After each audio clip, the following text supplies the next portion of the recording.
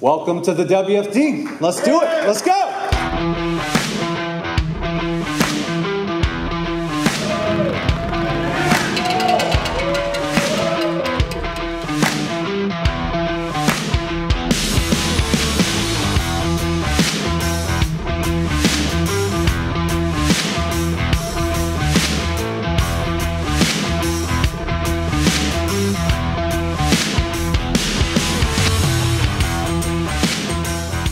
Like I'm gonna win this year.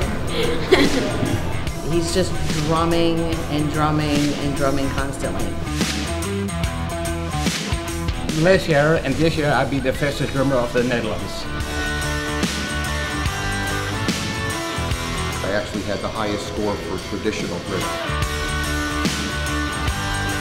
has something elements with Chinese Tai Chi. Yeah, I'm, I'm nervous. Well, this year I'm 60, so I've mostly been concentrating on my feet for the last 15 years. I've always been kind of infatuated with just like you know the faster stuff. My dad's a musician also. He's, he's the reason why I am a drummer. So it's cool to have him around. You know. It's been a great opportunity to come up here and see my son hopefully win. When people talk about technique and speed, whatever, it's always been a guessing game before. Now it's real time. Speed is a result of technique. So the better technique you have, the faster you play. There you go.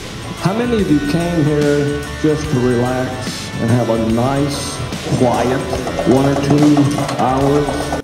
Well, you guys are in the wrong place. WFD!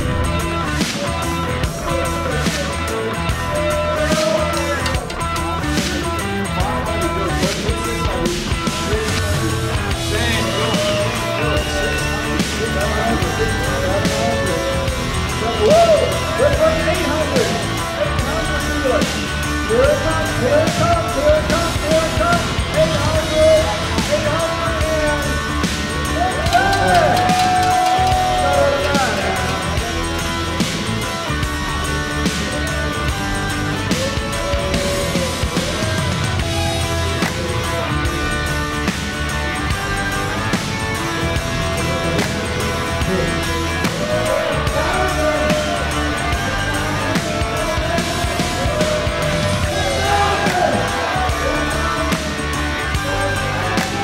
place is Felix Garza Jr. Where's Felix? Our grand prize winner for hands. Dejan Wang from China.